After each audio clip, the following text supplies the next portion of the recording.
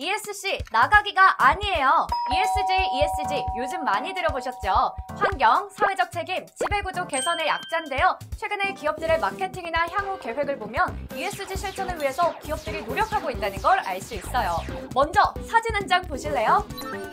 발칸의 심장이라고 불리는 세르비아 강인데요. 에메랄드빛은 어디로 사라지고 무려 2천만 리터 이상의 쓰레기가 쌓여 있네요. 잠깐 주목 보이시나요? 대부분 플라스틱 페트병인데 이게 비단 먼 나라의 이야기가 아니라고요. 환경부에 따르면 지난해 우리나라 상반기 하루 평균 플라스틱 폐기물 발생량이 848톤으로 2019년 일평균 733톤에서 15.6% 증가했어요. 그런데 대한민국의 분리수거율은 세계 최정상권에 속한데요. 하지만 그럼에도 재생섬유 등의 생산을 위해서는 연간 2만 2천 톤 가량의 폐페트병을 일본과 대만에서 수입하고 있다는 사실 왜 그럴까요?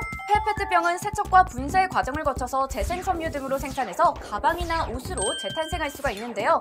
이때 반드시 깨끗한 페트병이어야지 가능하대요. 비닐 라벨이 붙어 있거나 끈적한 접착제가 남거나 유색 페트병과 섞이면 실을 뽑았을 때 쉽게 끊어지고 품질도 떨어지기 때문이죠. 최근에는 라벨 한쪽에 절취선을 만들어서 간편하게 제거 가능한 제품도 있고요. 투명한 용기도 많아졌어요. 하지만 여전히 소비자 입장에서 번거로운 것은 바로 라벨을 일일이 떼는 건데요. 그래서 기업들이 나섰어요. 무라벨 생수병, 무라벨 음료병을 만든 거죠. 국내 최초 무라벨 생수 아이시스 8.0 에코가 출시됐어요. 라벨이 사라졌지만 몸체에 로고를 새겼고 병마개 라벨에 수원지, 연락처, 유통기한 같은 소비자가 꼭 알아야 할 정보를 표기했어요. 바로 롯데칠성의 이 제품은 지난해 천만 개 넘게 팔리면서 대표적인 무라벨 생수로 인기를 끌었어요. 코카콜라사는 국내 탄산음료 업계 중에 최초로 씨그램 라벨 프리 제품을 출시했고 빙그레는 커피 제품 최초로 무라벨 아카페라 심플리를 출시했어요. 한편 편의점 CU는 모든 PB 생수를 무라벨로 교체할 예정이라고 하네요. 이런 무라벨 페트병 생수, 음료가 늘어날수록 소비자는 분리수거 시 번거로움을 덜 수가 있고 기업은 라벨 비용을 줄일 수 있는데요.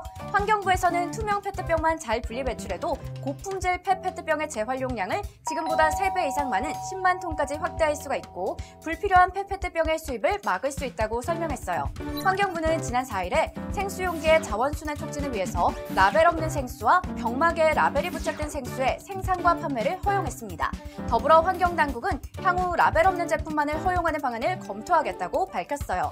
조금 시간이 흐르고 나면 이제 우리 주변에서 무라벨 생수병 흔히 만나볼 수가 있겠죠.